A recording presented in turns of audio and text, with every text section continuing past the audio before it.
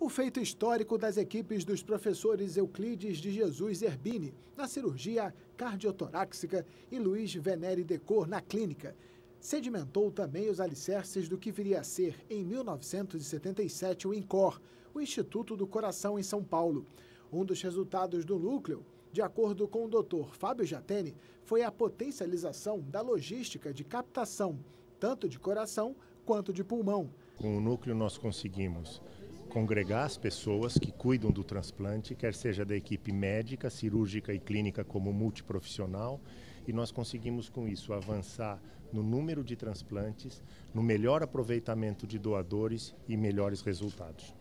E para comemorar os 50 anos do primeiro transplante cardíaco, o INCOR realizou hoje um evento com a presença de autoridades e de alguns dos médicos que viveram essa história em 1968 e cuja linhagem de inovações levou o Instituto do Coração a romper a barreira dos mil transplantados cardíacos em 2016 e ser o sétimo centro que mais transplanta coração de adultos no mundo desde 2014.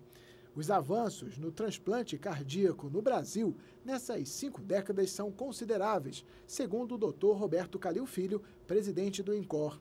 E o futuro, segundo ele, aponta para possibilidades ainda mais surpreendentes. Representou um estímulo, né? um estímulo, representou vida. Então, aquele transplante feito no Hospital das Clínicas, o INCOR não existia ainda. Né? O INCOR é, ainda estava sendo pensado, mas representou tudo graças a esse transplante, ou com a ajuda desse primeiro transplante, a motivação dos cirurgiões da cirurgia cardíaca, e aí nasceu o INCOR. Esse aí é o doutor Euclides Marques. Ele foi o pesquisador que desenvolveu a técnica usada na cirurgia daquele primeiro transplante cardíaco. O transplante do coração